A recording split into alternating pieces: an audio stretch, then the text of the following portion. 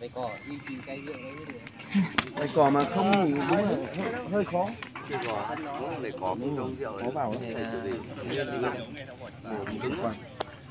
Này, Thái Nguyên với Tuyên Quang này là phải có. Thái Nguyên xanh à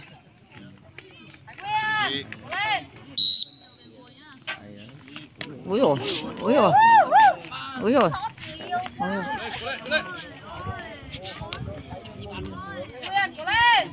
Ôi ôi Thôi thôi thôi thôi Sang một Thái Nguyên thắng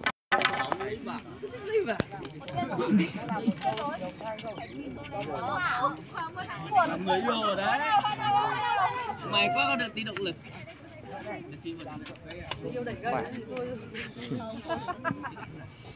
Cái gậy thì bằng cái tre thì thôi. Cố gắng lên Hảo ơi. Trọng tài ấy. Đấy. Nông Văn Long. Nông à, Nguyễn Thanh Hà. Mẹ, họ bây giờ thành ra cho họ lông hết. Lông họ lông. hết. Ngày xưa con ờ, bốn rồi dặn lấy dặn để đọc tên này cứ Đấy. đọc được nông phát là tên vẫn cái này nông đây nông vĩnh trưởng đây vận Nông động Vĩnh viên Trưởng. nông vĩnh trưởng đang ngồi ờ, live stream Đông Vĩnh Trưởng cao tuổi rồi. Nông, để tranh nhất. nông lý trưởng lý trưởng hay hiệu trưởng Bốn giờ ra đây. thiên trưởng thuyền trưởng à?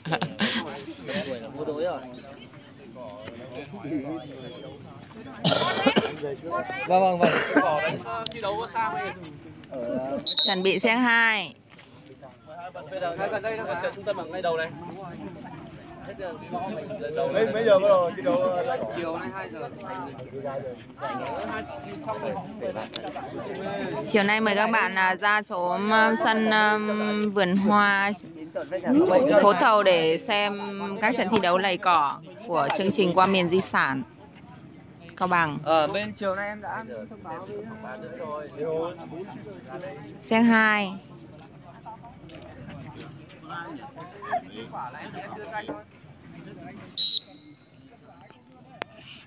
Không bây giờ em đưa hẳn luôn cho anh anh đâu em đưa cho anh luôn. ôi cương ôi ôi ôi Thái Nguyên thắng Vâng.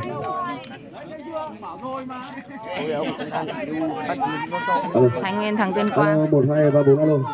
Vâng, ban tổ chức chúng tôi xin mời toàn thể các à, cổ động viên, các vận động viên chúng ta tập trung về sân đẩy gậy để chứng kiến trận thi đấu cuối cùng của buổi sáng ngày hôm nay. Trận chung kết hạng cân 75-80 kg giữa vận động viên Linh của Cao Bằng và vận động viên Cường của Thái Nguyên. Xin mời hai vận động viên vào vị trí để chuẩn bị và các cổ động